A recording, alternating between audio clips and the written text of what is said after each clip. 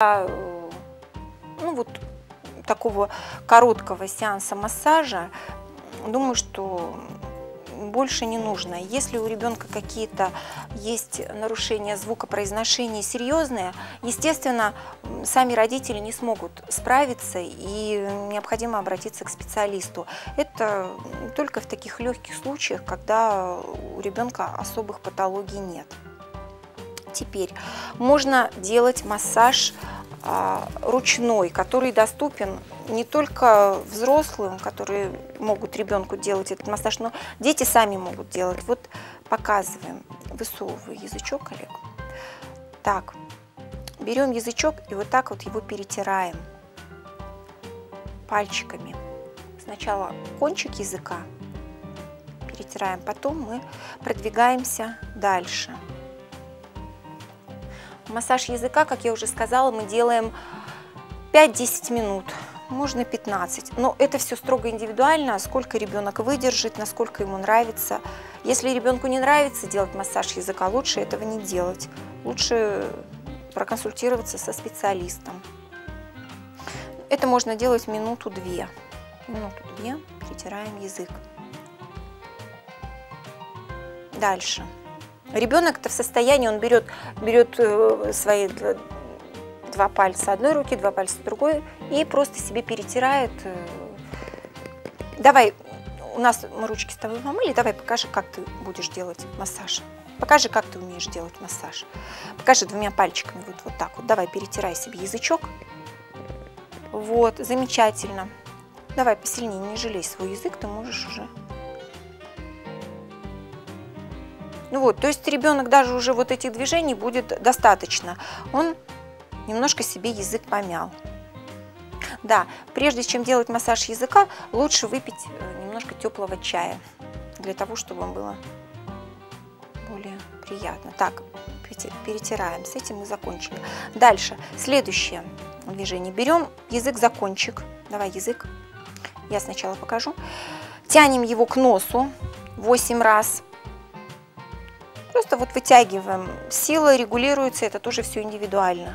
Одному можно сильно потянуть, другому будет больно. Если еще уздечка короткая, то можно сильно потянуть, и э, ребенку будет больно, можно даже до крови дотянуть. Это, конечно, ничего страшного, но если вы ребенку сделаете больно, то он в следующий раз больше с вами не будет заниматься. 8 раз к носу. Дальше к подбородку. 8 раз потянули.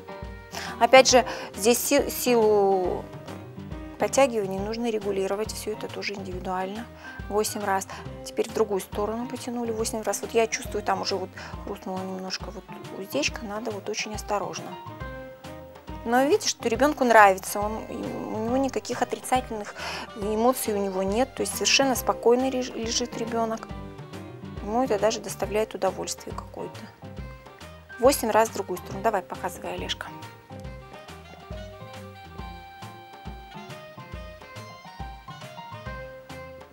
У нас у Олега совершенно спокойно массаж языка э, делает бабушка. Очень хорошо и, прямо скажем, профессионально. Молодец. Теперь берем язычок за кончик языка и тянем, и вот так вот по кругу просто мы его по кругу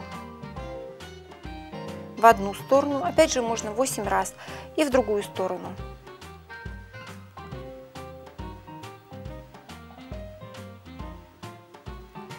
Так, потянули язычок. Дальше. Теперь мы вытягиваем мышцы языка. Значит, палец указательный под язык, придерживаем, а вот большим пальцем вот так как бы натягиваем язык вытягиваем просто вот эту спинку языка, мы просто тянем. То есть мы не просто тянем закончив, вот как мы в предыдущем делали движение, а здесь мы просто держим и вот так тянем. Так, потянули, тоже можно 8 раз. Это идет у нас своеобразная растяжка. Мышцы, когда спортом занимаемся, мышцы растягиваем. Точно так же мы и работаем с мышцей языка. Так, дальше. Теперь мы палец ставим вот сюда, один. Теперь боковую мышцу тянем. Палец держим. Так, сейчас я платочек. То есть получается вот такие движения, как бы пальцем мы вытягиваем вот эту сторону языка, одну сторону. Тебе не больно? У нас уже язык намассированный. Здесь уже Конечно, первый раз, если ребенку делать массаж, здесь уже просто ребенок привык, он может уже 40 минут массажа выдержать, сколько угодно. Если вы первый раз делаете массаж ребенку, то лучше ограничиться там 3-4 минуты. И больше не надо, потому что это будет и ему неприятно, и больно, испугается. И... То есть здесь надо очень деликатно, осторожно. Так, теперь другую сторону тянем. Так, теперь по кругу покажи, как ты умеешь по кругу. Нет, вот так бери, вот так берешь и давай по кругу его. По кругу тянем. Так, и в другую сторону. Так, дальше, следующее движение, высовывай язык. Теперь мы просто сжимаем, вот двумя пальцами просто сжимаем язык. Можно вот этими пальцами просто сжимаем от э, кончика к корню. Вот так. Вот так. Здесь, э, насколько возможно, до рвотного рефлекса мы просто пытаемся достать.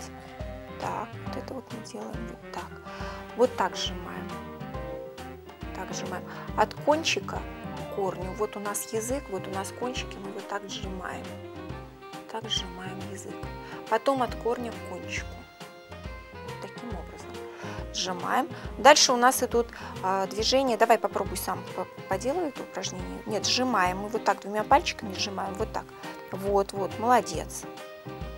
Вот умница. Умница. Так, молодец. Дальше. Следующее движение, это у нас идет такое перетирание, тоже вот у нас язык, и мы, мы сжимали, теперь мы вот перетираем его. Перетираем. Тоже от кончика к корню.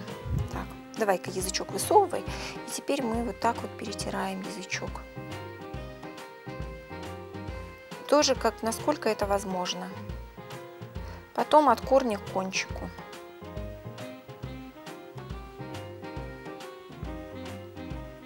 Так. Давай сам. Стирай.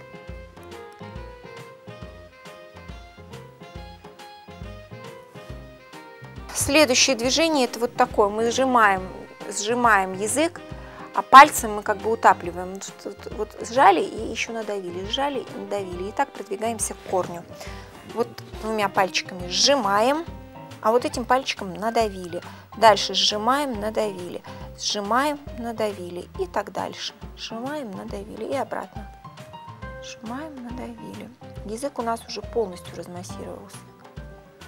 Уже можно с ним, с ним все что угодно делать. Так. Следующее движение. Берем язык, тянем теперь вот нижние мышцы. Вот сверху палец положили, и вот указательным пальцем мы просто вот как бы вот тянем нижнюю мышцу. Сначала с одной стороны, с одной стороны. Вот такое движение. Так. А потом с другой стороны палец опять положили. Все это можно бы было делать чистыми руками, без платочка, но слюнотечение обычно сильное у детей, поэтому практически невозможно, пальцы будут скользить. Так, вот так. Молодец, супер. Ну как тебе, хорошо? Нормально себя чувствуешь? Хорошо твоему языку? Очень? Видите, ребенок улыбается, ничего такого страшного не происходит, ему хорошо, он доволен. И после массажа языка у него звукопроизношение улучшается. Думаю, что достаточно будет э, таких вот общих движений. Это, конечно, не полный курс массажа. Полный курс массажа он и не нужен. Я показала самые простые, элементарные движения, которые э, родители, которые могут сами овладеть и приносить пользу собственному ребенку. Какие-то тонкости и нюансы, которые, может быть, э, нужны определенным детям, здесь нужен индивидуальный подход, и одному ребенку можно сделать что-то одно, другому совершенно что-то другое. Это общий массаж.